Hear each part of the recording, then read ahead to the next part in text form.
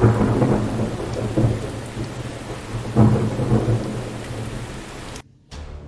we'll be talking about Microsoft Premonition Networks. In 2020, Microsoft launched this innovation as um, another practical example of using computer science into the real-time problems of humanity.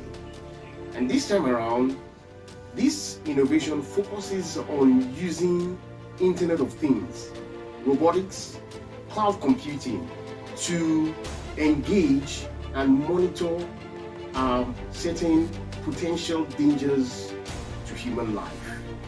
I've prepared this presentation. Sit back, relax, and let's take a ride together.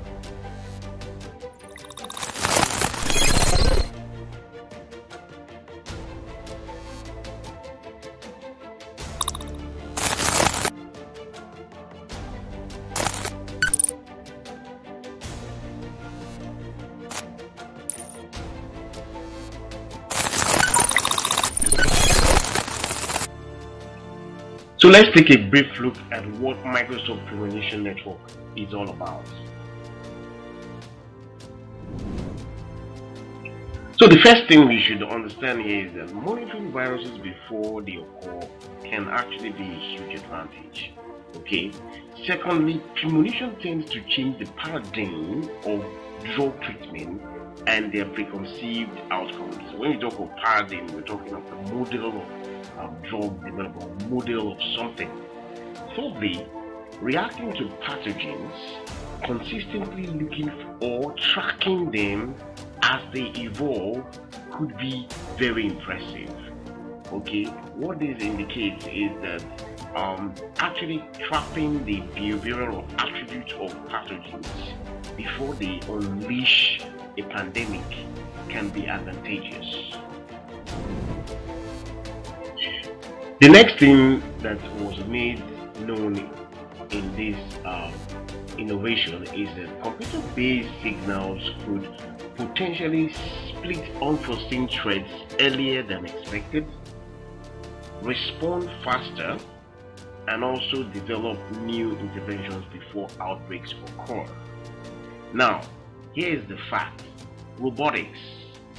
Cloud computing is a converging point where monitoring these species can occur in a new way or scale. What this indicates is that the combination of robotics and cloud computing can actually be a tipping point where these species can occur or can be monitored in a new way.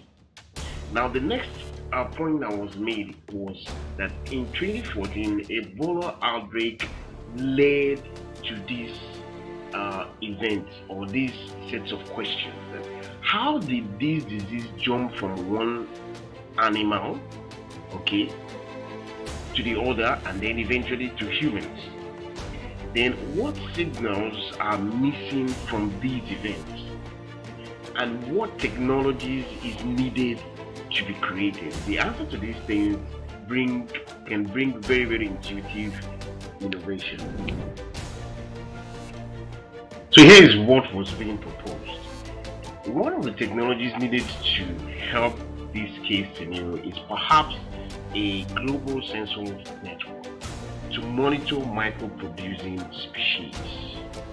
Next, the fact is that our intermediate environment is constantly leaving track of clues that might need superficial monitoring and reporting.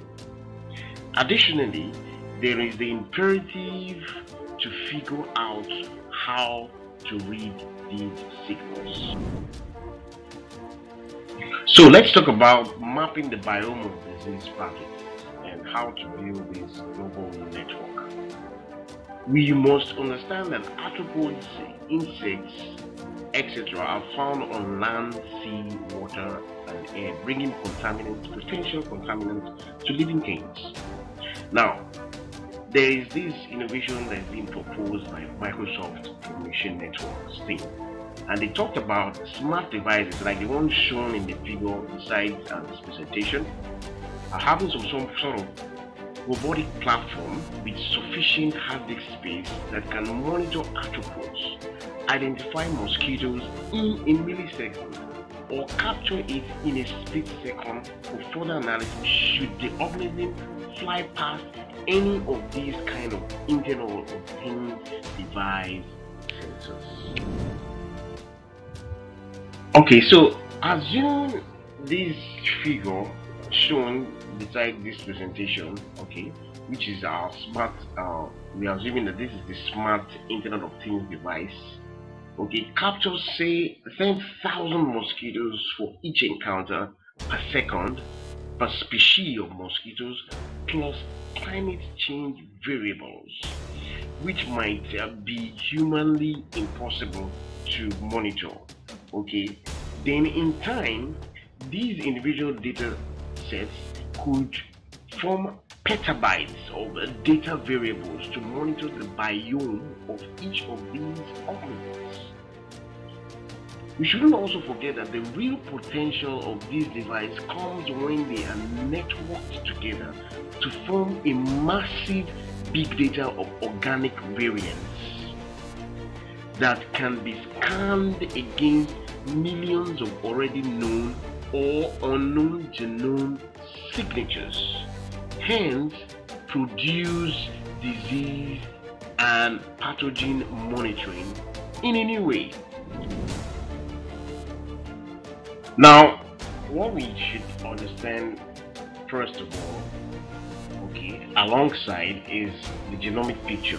You must have been seeing pictures like this from our high school, you know, up to the level of university and all.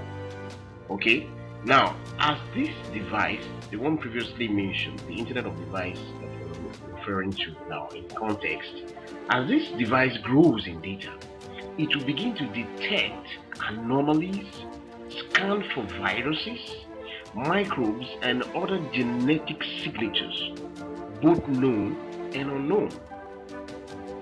Also, the cloud scale genomic analysis is also uh, would be a, a huge advantage because this would become very handy for deeply scanning environmental factors newly discovered materials from blood samples, environmental sources, etc., that are either threats or friendly to the human society. So, going further, we should understand the fact that a single arthropod, like the one shown in the image beside there, sample can contain a great amount of digital fragment of genetic material, which will or can be scanned against a database of perhaps over 2 trillion pairs of DNA, representing a bulk of genomes on Earth.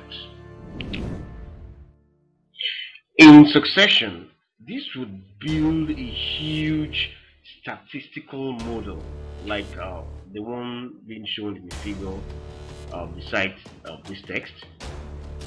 And of course, most likely organisms such as Ebola, Zika, uh, dog, insect, etc., present in any organic sample can be further analyzed.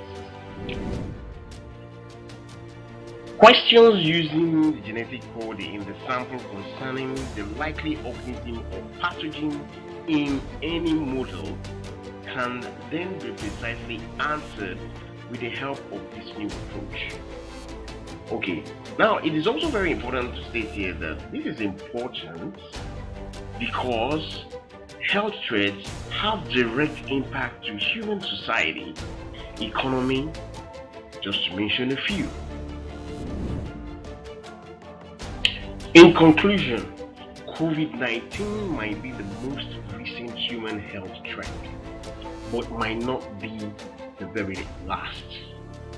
Consumer technology robotics plus artificial intelligence and cloud computing are handy tools that could avert highly contagious ailments for the entire human race. Hmm. How interesting. If you love this video, please remember to subscribe, comment, start a discussion on these premonition networks. What do you think about it? Do you think that premonition networks could help us avert future pandemics? Till next time, I remain your loyal, humble self. Cheers and all the best.